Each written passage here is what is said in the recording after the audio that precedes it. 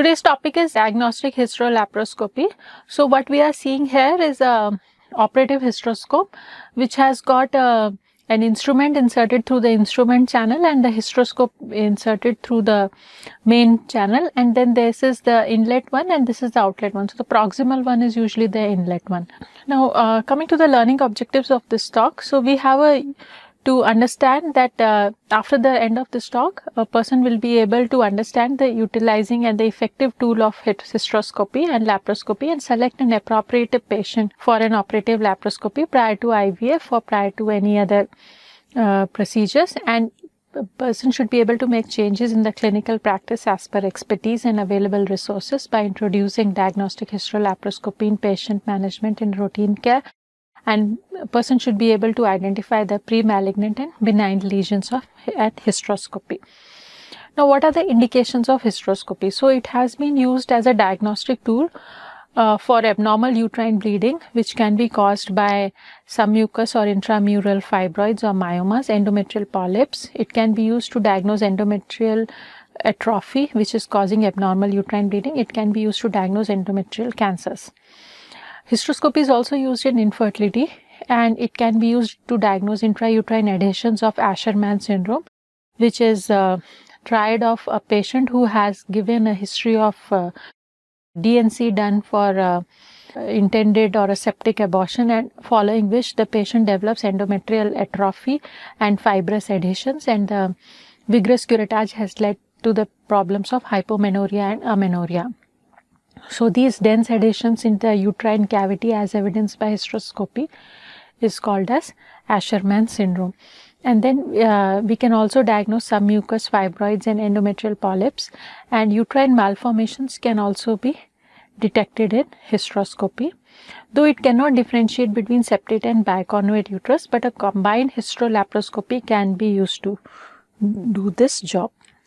Now coming to the preparation of patient for hysteroscopy. So we have to take a detailed history and complete physical examination. So the surgeon should sit on the uh, foot end of the patient and patient should be placed in a lithotomy position and it is preferable to do the procedure uh, hysteroscopy uh, in the first part of the menstrual cycle, usually between day 6 to day 9 because there is less mucus. So, there is a better viewing in the proliferative endometrium as compared to the secretory endometrium and also there is no chance of uh, encountering the pregnancy if the it is done between day 6 to day 9 of cycle.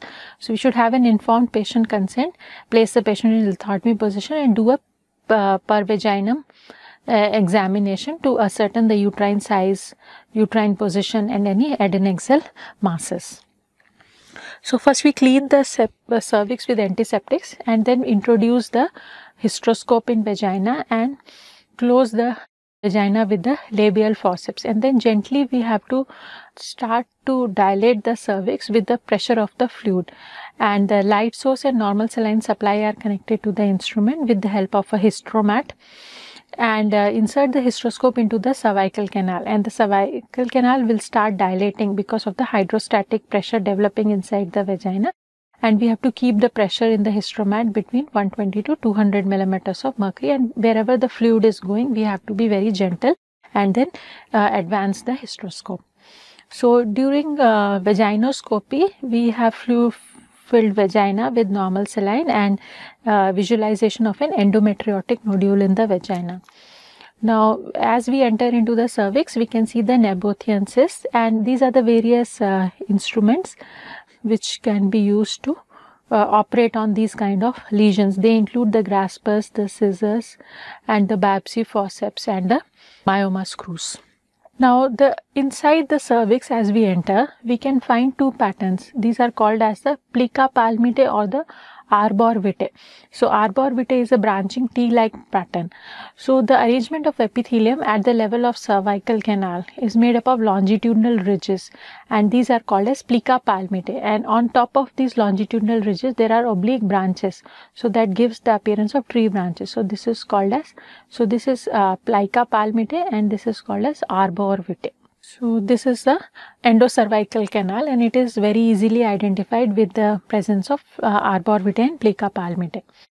Now coming to any lesions inside the cervix. So we can see that this is a tongue-like projection of mucosa which is uh, hanging in the endocervical canal which has been identified by uh, Plica palmatae and arbor vitae and uh, this is the uh, so this is a pseudo cervical because it is hanging seen hanging from the internal os and um, now coming into the endometrial cavity. So endometrial cavity we have it can be a menstruating endometrial cavity proliferative phase early luteal phase or late luteal phase. So menstrual pattern is 1 to 4 days of menstrual cycle during the bleeding. Proliferative phase is 5th day to 14th day. Early luteal phase 14 to 21 days. And late luteal 22 to 28 days. So this is red. Proliferative phase endometrium will be pink. Early luteal will be white. And late luteal will also be white so menstrual endometrium is irregular, proliferative is smooth, early luteal is wavy and late luteal is spongy. So menstruating is very thin, 0.1 mm whereas in the proliferative phase it is 2 to 5 mm, early luteal phase more than 6 mm and late luteal phase more than 7 mm. In the menstrual phase the glands are absent, in the proliferative phase the glands are seen as white dots. In the early luteal phase the glands are prominent and late luteal phase also they are absent. So there are no notches and whereas in proliferative phase we can see some hemorrhagic areas and this is only the serous discharge is seen in the early luteal and the late luteal phase.